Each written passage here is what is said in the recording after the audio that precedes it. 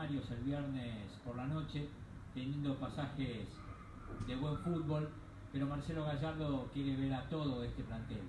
Por eso realizará modificaciones importantes para el partido que